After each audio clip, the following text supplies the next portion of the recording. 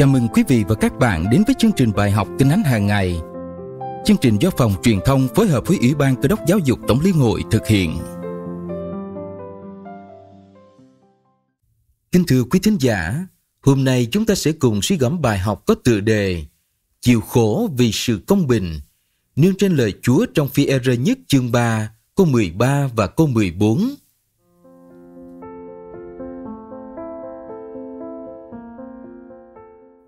Ví bằng anh em sốt sắng làm lành, thì có ai làm giữ lại cho anh em?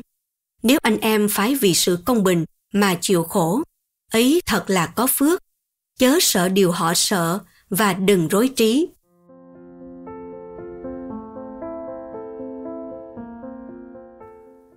Câu gốc của bài học Nếu anh em phải vì sự công bình mà chịu khổ, ấy thật là có phước. Chớ sợ điều họ sợ và đừng rối trí. Phi e nhất chương 3 câu 14 Câu hỏi suy gẫm Sứ đồ Phi e có ý gì khi khuyên các tín hữu, ví bằng anh em sốt sắng làm lành, thì có ai làm giữ lại cho anh em? Vì sao chịu khổ vì sự công bình là có phước? Làm thế nào để chúng ta không bị sợ hãi khi sống cho Chúa?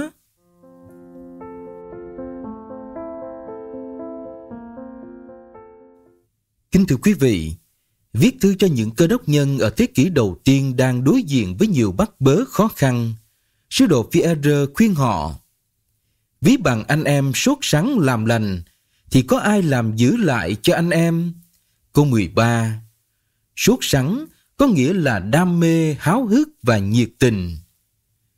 Người tin Chúa được kêu gọi phải nhiệt tình dấn thân cho sự công bình, làm theo lời Chúa dạy và sống cuộc đời tôn vinh Ngài. Khi nói, có ai làm giữ lại cho anh em?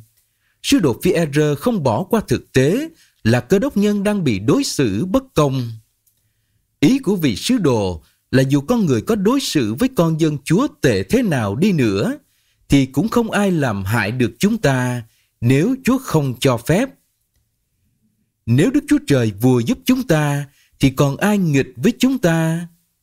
Roma chương 8 câu 31 phần B Trong quyền tế trị tối thượng và ý định khôn ngoan của Chúa, chúng ta biết rằng mọi sự hiệp lại làm ích cho kẻ yêu mến Đức Chúa Trời. Roma chương 8 câu 28 phần A Con dân Chúa được Ngài báo đảm rằng nếu vì sự công bình mà chịu khổ thì sẽ được phước. Phước ở đây không phải là phước hạnh về vật chất và là ân huệ của Đức Chúa Trời như những gì Chúa Giêsu dạy về các phước lành trong bài giảng trên núi. Matthew chương 5 câu 1 đến câu 10. Đó là ân huệ và sự hiện diện của Chúa để nâng đỡ và an ủi chúng ta trong cơn thử thách. Khi chịu khổ vì sự công bình, chúng ta được dự phần với Đấng Christ trong sự thương khó của Ngài và nếm biết sâu sắc về tình yêu hy sinh của Ngài dành cho chúng ta. Khi nghĩ đến những khó khăn, với tâm lý thông thường có thể chúng ta cảm thấy lo sợ. Nhưng chúng ta cứ vững tâm khi biết rằng Chúa đang hành động vì lợi ích của chúng ta và vì vinh quang Ngài. Chúng ta không cần sợ hãi hay bối rối trước con người, bởi vì điều tồi tệ nhất họ có thể làm cho chúng ta chỉ là làm tổn hại đến thân thể. Chúa Giêsu đã phán, đừng sợ kẻ giết thân thể mà không giết được linh hồn nhưng thà sợ đấng làm cho mất được linh hồn và thân thể trong địa ngục. Matthew chương 10 câu 28 Chúng ta phải sợ Chúa thay vì sợ con người. Hãy cứ tiếp tục sống cho Chúa, theo đuổi điều làm Ngài đẹp lòng, bất chấp những gì mình có thể phải đối diện, vì phần thưởng dành cho chúng ta là lớn lắm.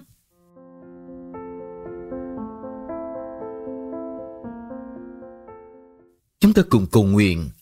Lạy Chúa, Tạ ơn Chúa vì lời Ngài dạy chịu khổ vì sự công bình là có phước. Xin thêm sức để con có thể đối diện với những bắt bớ và sẵn sàng chịu khổ vì sự công chính. Xin cho con suốt sáng làm lành, sống cuộc đời tôn vinh và bày tỏ tình yêu Ngài giữa mọi người. Nhân danh Đức Chúa Giêsu Christ. Amen. Quý vị thính giả thân mến, điều gì chúng ta có thể làm cho Chúa hôm nay ngay cả khi biết mình có thể sẽ gặp bắt bớ. Chịu khổ vì sự công bình, vững tâm nơi Chúa vì vinh quang Ngài. đừng sợ bất cứ một ai, hãy kính sợ Chúa thiên đài ngửa trong. Bài học Kinh Thánh hàng ngày hôm nay đến đây là kết thúc. Kính chúc quý vị một ngày mới tràn đầy phước hạnh Chúa ban cho. Hãy học lời Chúa qua chương trình này hàng ngày và giới thiệu cho nhiều người khác cùng tham gia. Hẹn gặp lại quý vị ngày mai.